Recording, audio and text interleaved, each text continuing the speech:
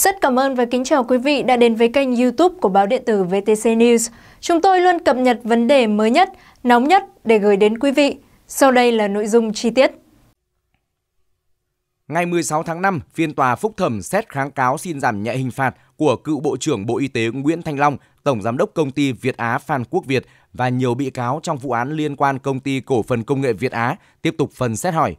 Trong vụ án này, công ty Việt Á có đơn kháng cáo đề nghị không tịch thu sung công quỹ nhà nước, số tiền được xác định là hưởng lợi bất chính từ việc bán kit xét nghiệm cho các tổ chức cá nhân không bị xem xét khởi tố trong vụ án. Tại tòa, đại diện công ty Việt Á cho rằng bản án sơ thẩm tuyên tịch thu hơn 630 tỷ đồng là tiền của công ty vì cho rằng thu lợi bất chính từ hành vi vi phạm đấu thầu. Bên cạnh đó, đại diện Việt Á cũng kháng cáo đòi nợ hơn 1.200 tỷ đồng của 80 đơn vị, trong đó các đơn vị thuộc nhà nước nợ hơn 674 tỷ đồng, các đơn vị tư nhân còn nợ hơn 563 tỷ đồng. Doanh nghiệp này mong muốn tòa phúc thẩm tuyên buộc phía đối tác phải trả tiền cho mình.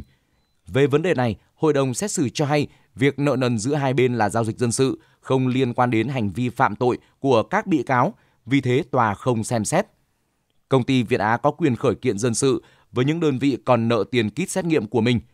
Ngoài ra, tại phiên phúc thẩm trước đó, cựu chủ tịch Việt Á Phan Quốc Việt đã phủ nhận chủ mưu, nói phải một mình khắc phục hậu quả là chưa hợp lý.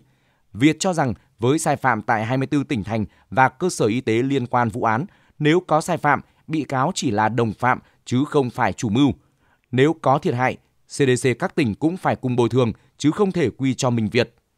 Theo bị cáo Việt, không thể nói việc Việt Á bán kit test giá cao là khống giá vì đây là loại hàng hóa nhà nước không được áp giá mà theo cơ chế thị trường, nguyên tắc thuận mua vừa bán. Trong phiên phúc thẩm, gia đình Việt cũng kháng cáo phần dân sự, đề nghị được tuyên trả lại 54 sổ tiết kiệm của mẹ và các con bị cáo, tổng hơn 142 tỷ đồng.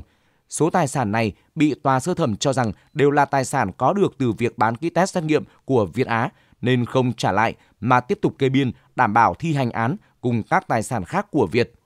Bị cáo Việt cho rằng đó là tiền trả nợ mẹ có được từ hoạt động khác của Việt Á. Tuy nhiên, khi đại diện Viện Kiểm sát lập tức trích đọc lại lời khai của Việt tại cơ quan điều tra, khi đó Việt đã nói tiền chuyển vào sổ tiết kiệm của mẹ đẻ là tiền có được từ bán kit test.